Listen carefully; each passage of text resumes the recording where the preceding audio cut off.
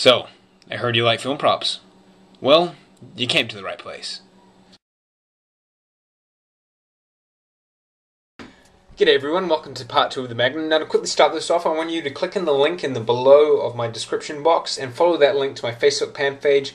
It will take you straight to this image, then click download on the image and then take it into an A4 size document using uh, Microsoft Publisher or Word or whatever you want um, depending on if you're using a Mac or a Windows. And I want you to put this image in. I've already structured it so it's kind of the right side size. So what you're going to do is you're going to drag the top corners into the rulers, the blue rulers. As you can see, the top corner matches the blue corner and the bottom one hits the bottom. Don't worry about the right hand side, but as long as you're matching it like you can see in my screen now, you should be fine. Just go print it and then we apply it straight onto our styrofoam and we'll get cutting. Alright, yeah. So we've printed off, now we've placed on our styrofoam. Make sure that you have enough styrofoam to cover the whole base of the Magnum. As soon as you place it on, you'll be able to see. And the first thing we're going to need to do is um, just tape it down, so that when we're cutting around it, it's not going to dislodge or move anywhere so that you'll get random lines on your gun. We want it always to be firm and strong and steady while we're cutting this. Just the main reason. The reason why I'm wearing gloves is because I actually like wearing gloves because it means my hands are able to slide over the foam without any traction or sticking to it. Um, but that's only because I prefer it. Now, when you're cutting out these lines, we're not wanting to cut all the way into the foam. We're just doing light indents, so to speak, just so when we pull off this paper, we can see a definitive outline on the styrofoam. Now, I'm, not, I'm going to say that again, we're not cutting into the styrofoam, so you don't even want to cut a centimeter. You're just scratching the surface enough so you can see when we take this paper off, we can go cut right into the styrofoam. Now, always use a sharp knife. If you would ever use a sharp knife, this would be the major part for it.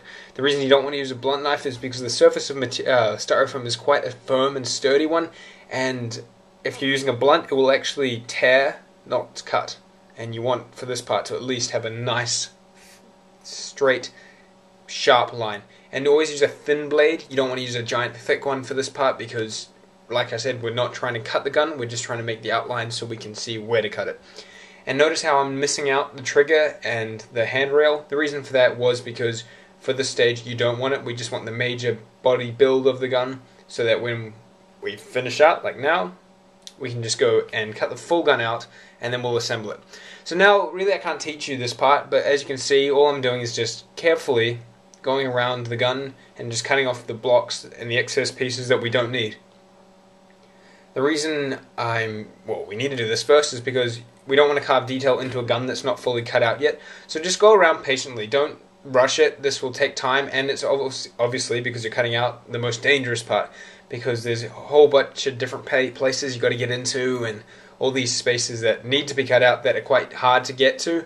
So please, um, if you haven't watched my video yet on safety, you can click here on the link or and this will open up in another video so you can keep this one on your screen and it will just quickly teach you some safety tips on how to cut these things out because I don't want you losing a finger over these. So there we go, it's all cut out and we're ready to start doing the detail but please like I said, be careful and be safe when you have just done that.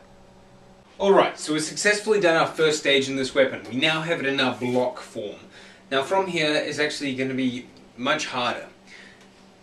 To Before we actually start carving detail on this, uh, we need to use a technique that uh, many designers and artists such as myself uh, learn through experience and use this technique in everything we do to make sure that we know we can finish with products such as Spartan lasers, or, or anything really.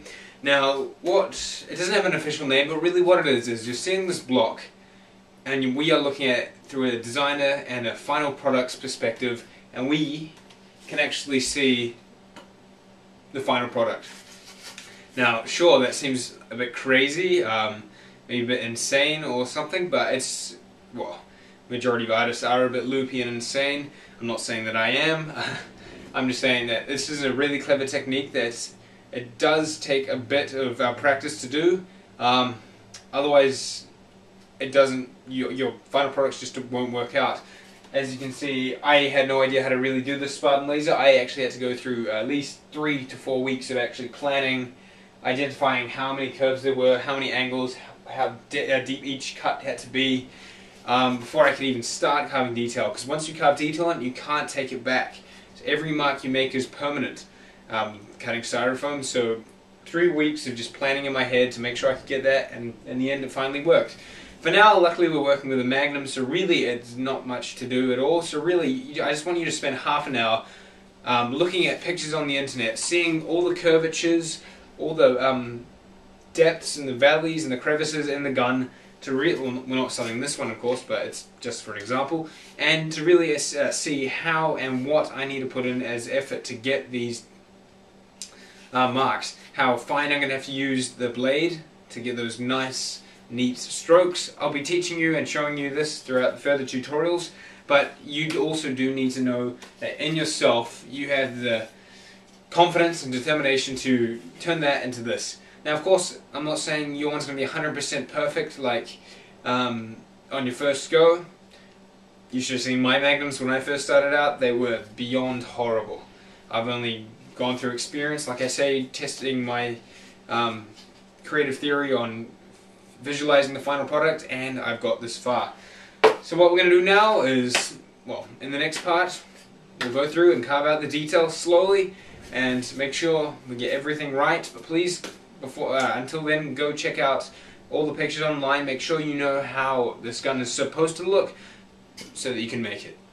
My name is Andrew Cook. Remember, we can achieve epicness. See you in part two.